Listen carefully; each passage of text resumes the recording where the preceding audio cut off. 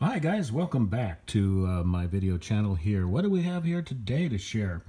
Well, this is a uh, two channel, 30 watt per channel stereo class A amplifier. And um, I'm going to demonstrate it.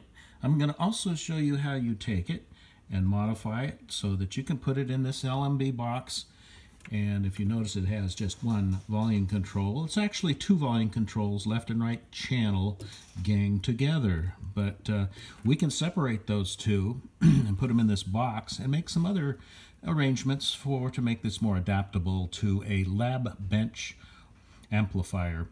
So um, let's get started with the video here. Let's just uh, maybe demonstrate a little bit of how it sounds. You're probably not going to get a real good feeling for it.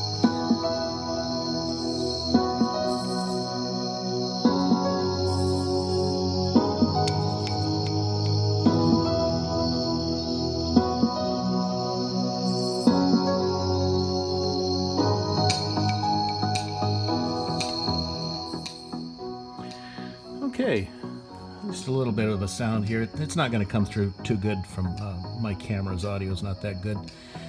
So um, again, this is I bought this from uh, a outfit in China, and um, I wanted to use it for lab bench testing of radios. Uh, not high fidelity because it does not have a lot of low frequency bass in it. Um, which is undesirable for me because I'm using it for shortwave radios and ham radios but uh, this may be of interest to you. It's about six or seven dollars. Very well made. Nice heat sink on it. Class A, it's going to dissipate some heat. And there's the top of it. You see two filter capacitors. On the left side is 12 volts AC supply. Um, and you can see that it's center tap. You need a center tap transformer, output transformer. On the other side is your channel A, channel B, or left channel, right channel speaker outputs for 8 ohm speakers. So nice, nice little device. It has a TDA 1521 power amplifier. And uh, right here is your left and right channel input. It's also a little plug here. You can use left and right channel for the input if you desire to hook the connector up to it. Um, so let's take a look at what it looks like inside. Here we go.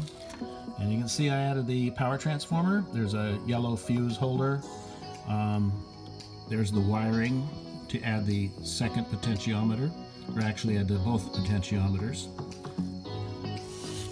In the front, we have a um, switch in the middle. Now what's that switch do? It says channel A, A1, A2.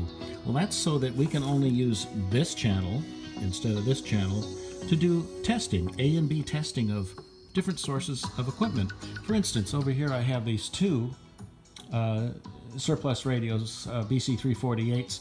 Take both outputs and you plug them in right into the inputs here, and you can switch them back and forth. And what you're doing is you're using the same audio chain, mainly this one right here, the A channel, to switch back and forth into a common speaker. That way you get a good A and B relationship in how the audio sounds and how the signal sounds coming over these shortwave radios. We have a little speaker terminal strip, channel A, channel B, on and off switch, and power cord right here. And of course I added a little on and off LED light in the front. So everybody, I hope you enjoyed this video. Um, if you choose to purchase this, you'll find it uh, online in eBay and I'll give you a few specs below if you want to take a look. So please subscribe and give me a thumbs up if you will. Thanks again. Goodbye for now.